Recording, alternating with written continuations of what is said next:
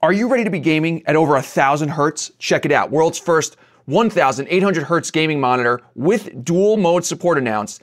HKC's super speedy panel hits peak speeds at 720p, steps down to 540 hertz at 1440p, reportedly features DisplayPort 2.1 UHBR20. So this is really interesting because I don't think your eyes can actually discern that level of refresh rate. I'm curious what you think about that.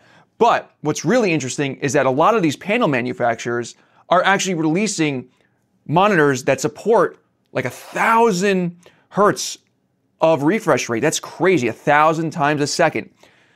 Do the GPUs and the computers actually support that refresh rate?